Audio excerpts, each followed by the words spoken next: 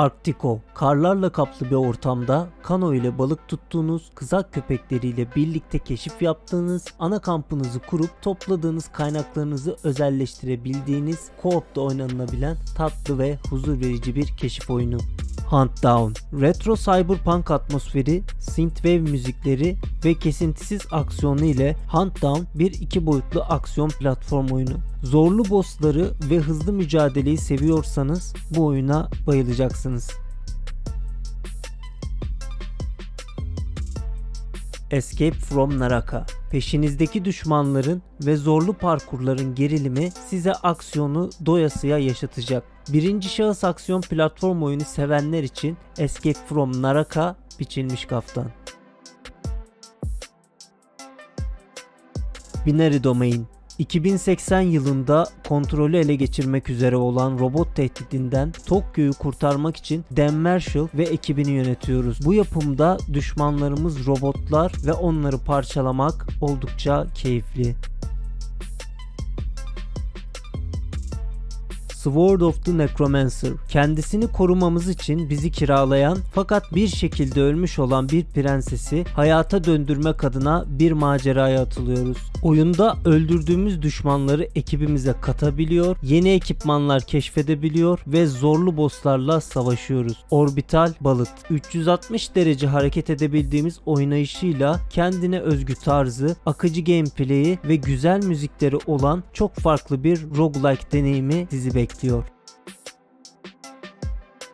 Dismantle, diğer hayatta kalma oyunlarına kıyasla inşaat mekaniği olmayan daha çok loot, craft ve karakter gelişimine dayalı bir oyun. Amacınız kıyamet sonrası bir dünyada bulunduğunuz bu adadan kurtulmak için hayatta kalmak. Carrion, parazit olup insanlara zor anlar yaşatabileceğiniz, farklı atmosferi ve yapısıyla kötü karakteri canlandırdığınız nadir oyunlardan.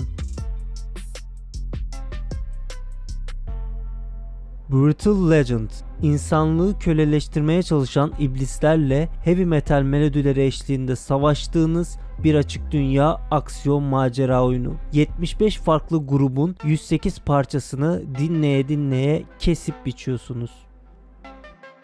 Katana Zero Piksel grafiklerin ardında sinematik bir hikaye de barındıran Katana Zero'da düşmanları kesmeli biçmeli bir oyun. Taktiksel bir aksiyon platform oyunu da diyebiliriz.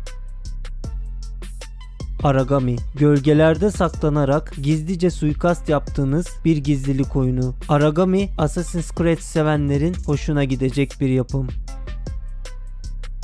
Soul Tent Sanctuary. Souls-like oyunları sevenler için iki boyutlu Dark Souls. Zorlu bosslarla kapışmak, karakterinizi ve silahlarınızı geliştirip güçlendirmek hepsi bu oyunda mevcut. Sleeping Dogs Definitive Edition Uzak Doğu temalı açık dünyası, polisiye hikayesi, mükemmel dövüş mekanikleri ve çevre etkileşimiyle asla eskimeyecek bir oyun. Gunborg Dark Matters. Gaza getiren synthwave müzikler, mücadeleci bir aksiyon ve mükemmel mekanikler eşliğinde kaliteli zaman geçirebileceğiniz sağlam bir 2D platform oyunu. Sunset Overdrive Sadece açık dünyasında takılması bile çok eğlenceli. Mizahi yönü, grafikleri ve özgün mekanikleriyle çıkış tarihine göre üst seviye bir oyun. Eğlenerek zombi pataklamak istiyorsanız bu oyun tam size göre. The Surge. Surge için teknolojik Dark Souls diyebiliriz. Souls-like oyunları sevenler için oldukça farklı bir konseptle karşımızda. Düşmanlarımızı yenerek onlardan topladığımız parçalarla kendimizi daha güçlü bir makine yapıyoruz. State of Mind. State of Mind transhumanizme giren fütürist bir gerilim oyunudur. Oyun distopyan bir maddi gerçeklik ve ütopik bir sanal gerçeklik arasında bölünmüş bir dünyada ayrılık, kopma ve yeniden birleşme temalarını işliyor. Paint the Town Red. Farklı konumlarda ve zaman dilimlerinde geçen kaotik bir birinci şahıs yakın dövüş aksiyon oyunu. Çevredeki her şeyi kullanarak etraftakileri yumruklayabilir, tekmeleyebilir, bıçaklayabilir ve ortalığın altını üstüne getirebilirsiniz. Mirror's Edge Catalyst. Çıkış yılına göre oldukça güzel grafiklere sahip olan Mirror's Edge parkur oyunlarını sevenler için bu fiyata kaçmaz diyebileceğimiz oyunlardan. Koleksiyonunuza eklemek için fazla beklemeyin derim.